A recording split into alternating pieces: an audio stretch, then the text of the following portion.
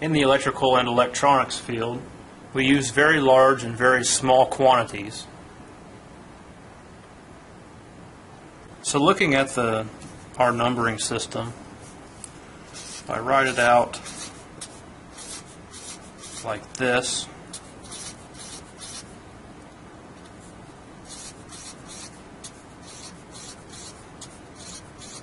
this is the way I have everyone memorize it. The ones, and we know this is the tens, this is the hundreds. This one is the thousands, the entire thing.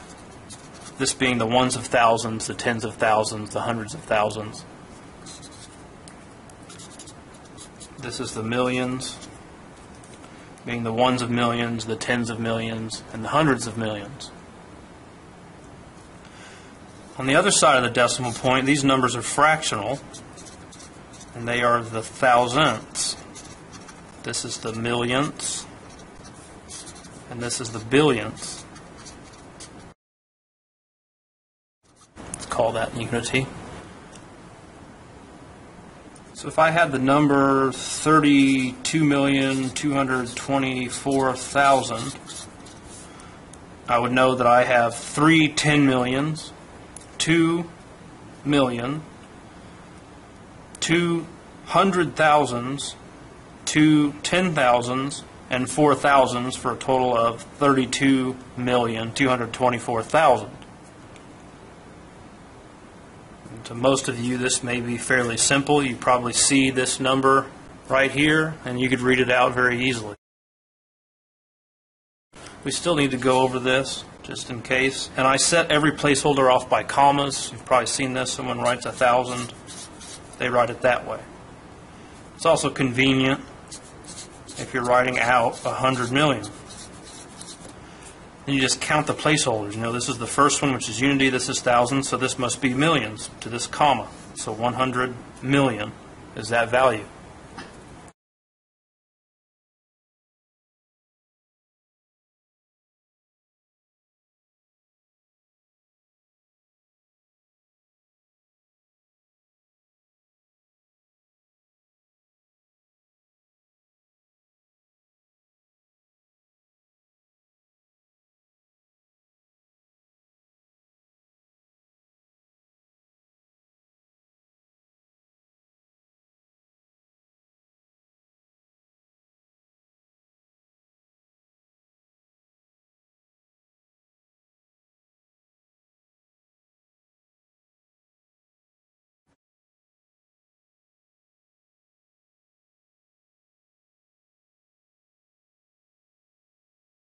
We'll look at the number 0.0063.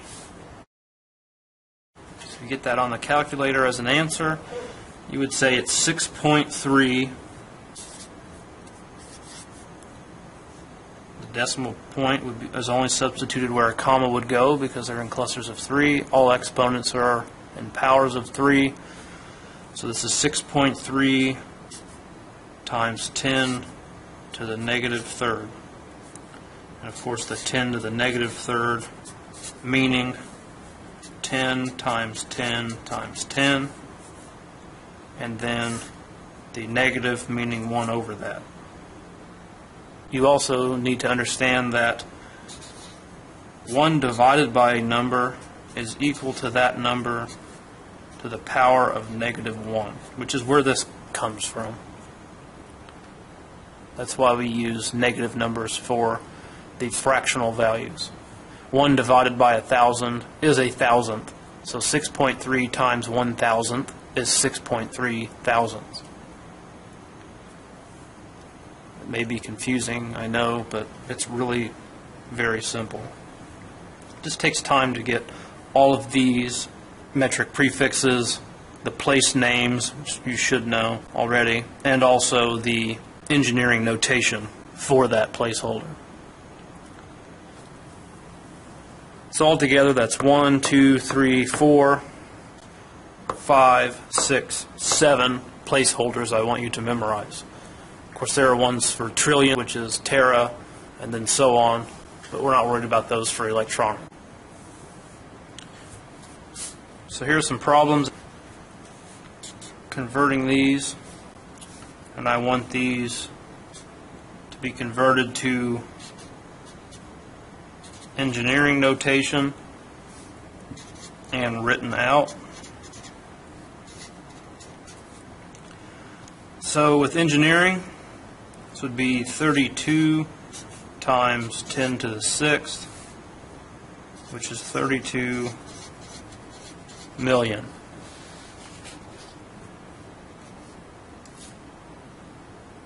Ten thousand be ten times ten to the third, which is ten thousand. Also may switch them around. I may ask. I have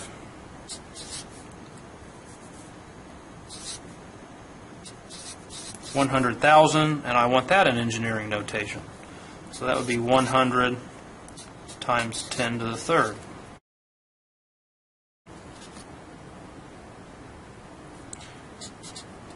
Also, fifty-five point, let's see, fifty-five million two hundred thousand.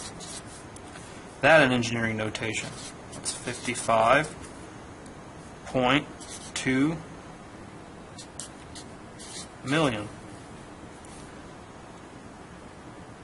Okay, so for the homework, it's going to look something like this. We'll have the number written out.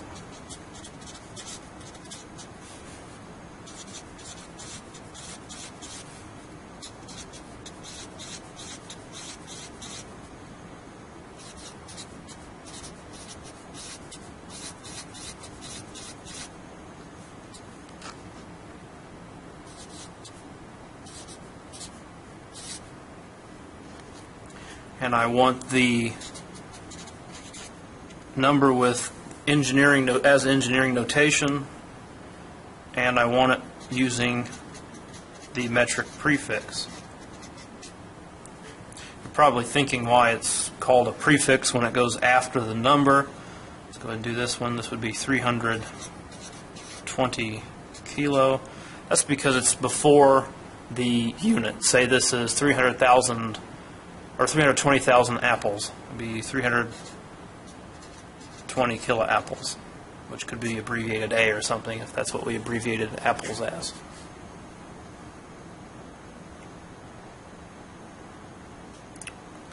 Okay, so this is 320,000 without any unit. It's not apples, oranges, volts, amperes, anything. This is 320,000, so it's 320K, and in engineering it would be 320 times 10 to the power of 3. The next one's 15 million. It's 15 times 10 to the sixth, which is 15 mega. Remember, this is lowercase, this is capital. Lowercase k, capital doesn't look like it. There we go. This large number would be written in engineering notation as 37.25 it'd be 37.25 billion, which is times 10 to the ninth. Times 10 to the ninth, the metric prefix for that, which is of course billion, is giga, capital G. The next one, 3,270, be 3,000, 3.27 times 10 to the third, which is 3.27K.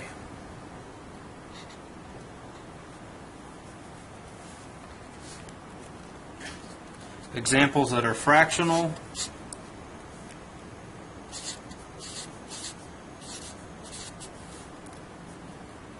I may or may not insert the commas to set off the placeholders. Remember, this is in clusters of three. And you could read the numbers fairly easily. Remember that they're in clusters of three. This first comma after the decimal point would be the thousandths place. So this would be 2.5 thousandths. 2.5 times 10 to the negative third. That just means that this is 1 divided by 10 times 10 times 10, which is 1 over a thousand, which is a thousandth. those 2.5 thousandths, which is what it is. Easy how that works. The metric pre- prefix, 2.5 thousandths. The Metric prefix for thousandths is milli. The next one is 501 millionths.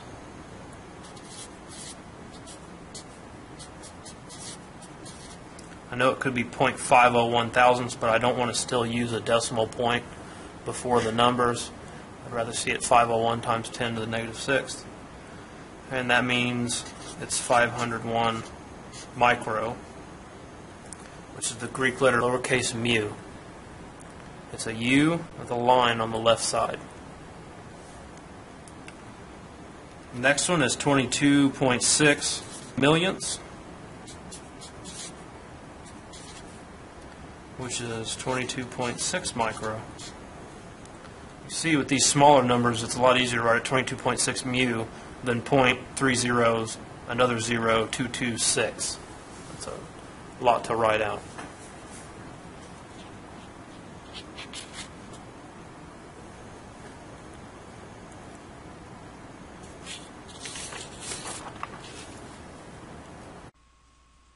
To help you with your homework for this module, I have included this document, the Module 1 Lesson 0 Engineering Notation and Metric Prefix Examples PDF. You'll see at the top, starting at the decimal point, there's times 10 to the zeroth, which has no need for any notation or prefix. The number 365 is e it's easy enough to write just 365. For the thousands place, this is times 10 to the third, which is 10 times 10 times 10. And anything in this placeholder is being multiplied by 10 to the power of 3. So if I have 3, 2 here, there's 3, 2, comma, 0, 0, 0. That's 32,000. And by the exponent, the power of 10, it's 32 times 10 times 10 times 10, which is still 32,000. There's also the millions place, which is times 10 to the sixth, the billions place, which is times 10 to the ninth. For fractional numbers, that is numbers that are a fraction of 1, we have the thousandth place, the millionth place, and the billionth place. So below these, I have included the metric prefix names and their abbreviations. And remember they go after the quantity once it's been changed over.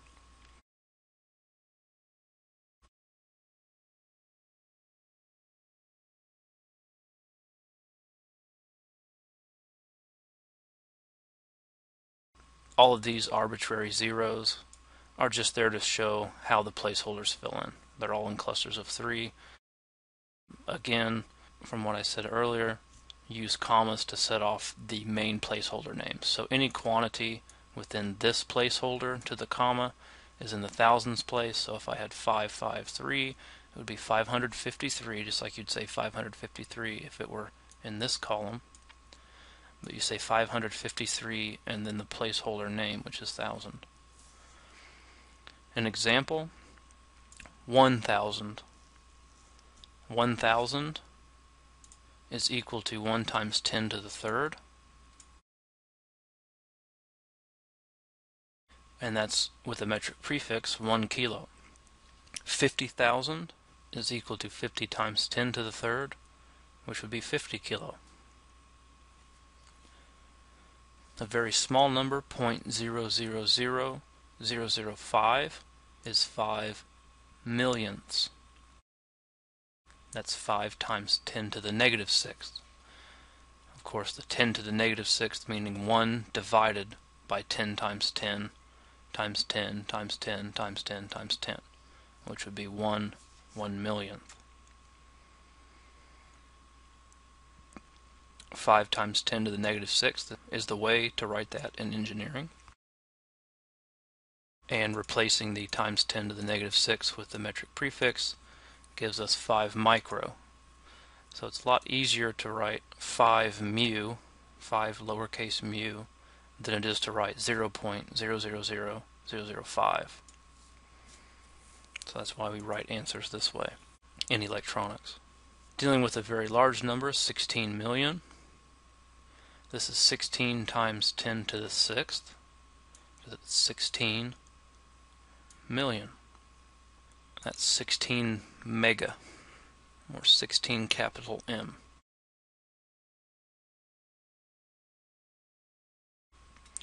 Thirty-two billion. It's thirty-two. It's in the billions place, so it's thirty-two times ten to the ninth. It's basically nine placeholders away from the decimal point. and that's thirty-two gig, or thirty-two giga.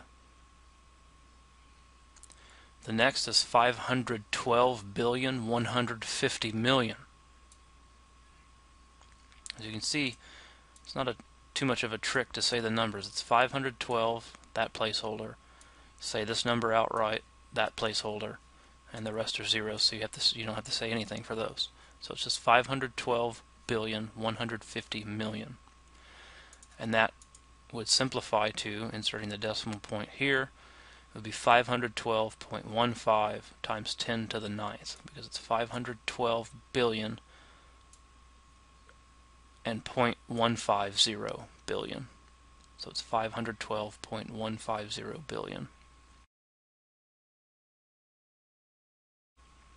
And that is equal to 512.15 giga. The next one is 2,500,000 and that would be equal to 2.5 times 10 to the sixth, which is 2.5 mega. Say you had an answer on your calculator of 2,543,226, and you wanted to round that to the nearest 100,000 and assign a metric prefix on your answer. So it would round to 2,500,000, and that would simplify to 2.5 mega when you're using the metric prefix. Same goes with this example. Maybe on your calculator your answer was 32,224,817,612 and you wanted to round it to the nearest 1 billion. Maybe that was accurate enough for your answer. So you would round it, it would be 32 times 10 to the ninth, which is 32 giga.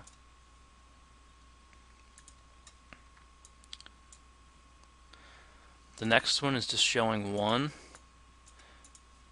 and it's 1 times 10 to the 0.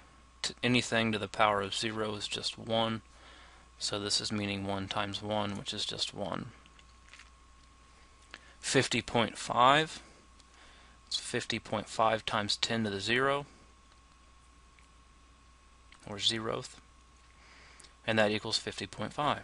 There's no need for a metric prefix for engineering notation. This is just showing that it, it's 1 times 10 to the zeroth because it's 0 places, the decimal point moved 0 places to represent this placeholder.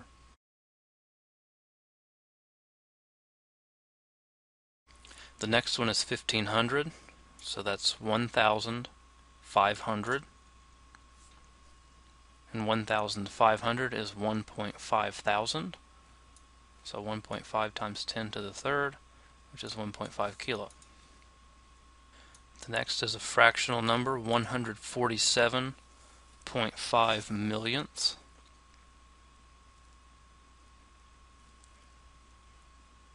This is also 0.1475 thousandths, but we don't want decimal points. I want to have the full placeholder.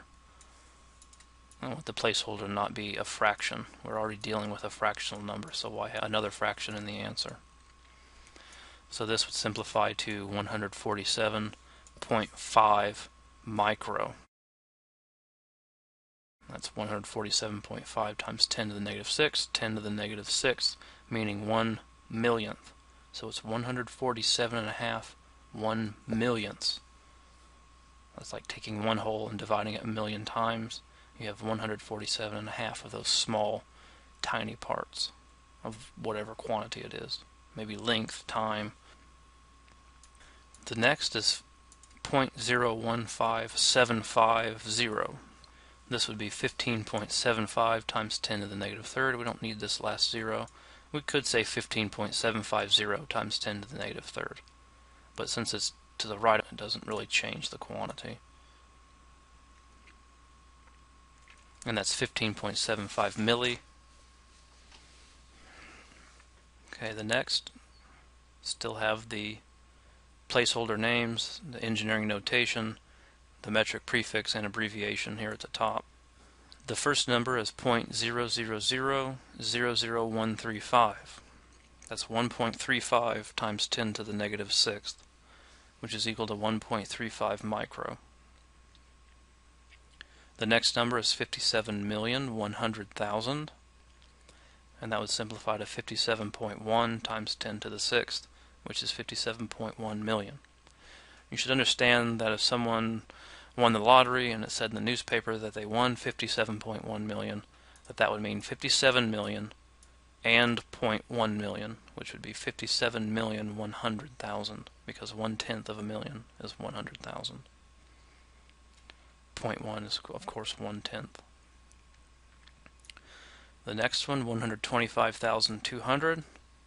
This example would simplify to 125.2 times 10 to the third, which is 125.2 kilo. I'll let you read through the rest of these and I should introduce you to this where say an example on the calculator shows up as 0.02 it's not going to insert that arbitrary trailing zero in there. It's just going to say 0.02 so what is that number in engineering notation? It's not completely filling up its placeholder Remember on fractional quantities, the zero, the zero to the right of the decimal point is the placeholder. It's actually, the more zeros we have in front of this 2, the smaller the quantity would be. But what is this number, 0.02, using the proper metric prefix? Remember that the trailing zero must be added to complete the placeholder. It doesn't change its value. So 0.02 is equal to 0.020 comma. Remember, every three spaces we get a comma to represent that placeholder name. So this is 20 thousandths. It's actually, if you were to read it out, it would be two hundredths. But 2 out of 100 and 20 out of 1000 is the same number once you reduce. So 0.02 is the answer that shows up on the calculator. You need to assume the zero after it. So this answer written in engineering notation would be 20 times 10 to the negative third, and 20 thousandths is 20 milli. Milli, of course, means one thousandth, or 10 to the negative third. See the additional problems here? 0.000007. Say this is the answer that shows up, or that's what it rounds to, to the nearest hundred billionth. You need to assume the zeros in that placeholder. So even though this is 0.7 millionths, it's also 700 billionths. 0.7 out of a million and 700 out of a billion is the same thing once you reduce. So this would be 700 times 10 to the negative ninth, which is 700 nano. You could also say that it's 0.7 micro, but again, I prefer fractional numbers not be used when this is already a fraction. So no point zero or point anything. It's a 700 nano. You need those zeros to fill in that placeholder. The next one is one fourth, which as a decimal is just of course 1 divided by 4, which is 0.25. You need to assume the zero, so it's 250 times 10 to the negative third, which is 250 milli. That's 250 thousandths. If you deal with machine work, um, pretty much every piece of steel you use is in thousandths of an inch. So this is probably fairly familiar. You would understand that 25 hundredths is the same as 250 thousandths. So I hope this helps with the homework.